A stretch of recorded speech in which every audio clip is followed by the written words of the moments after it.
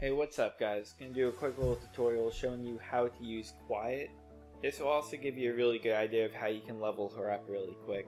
She's one of the buddies you get her around mission 11, and then you gotta wait longer before you can actually take her to the field.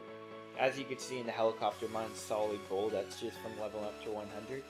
The first thing you always want to do with Quiet, if you know where you're going, go to the map and click up till it shows Quiet and then Scout in brackets and then select an area. There's different radiuses you can pick, and if you're lucky, one of them will be right on the camp you want to infiltrate, like this one.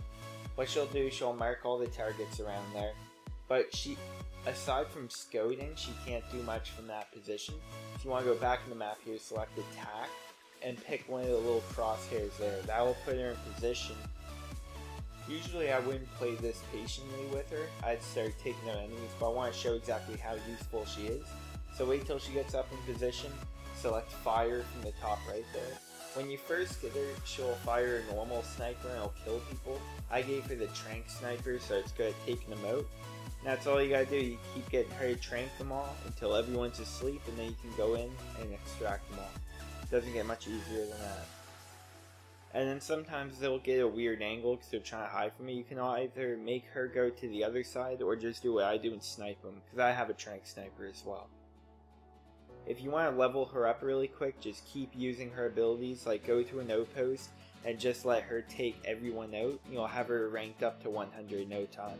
It took me a day to get her from 1 to 100. I wasn't even playing that much. Anyways, I'm just going to show you me extract them all because there is a sniper up there too. So I'll show you another use. The only problem is that people need to be marked in order for you to have her shoot them. And if they're not marked by her scouting, then you need to mark them yourself. So I went to shoot out. There you go. But yeah, so she kept them busy anyways. A lot of times if enemies have helmets, she'll hit the helmet, so that's one kind of con to using. But she's definitely the best buddy. And that's all I wanted to show you guys. Hopefully this changes your opinion on Quiet and you want to use her now.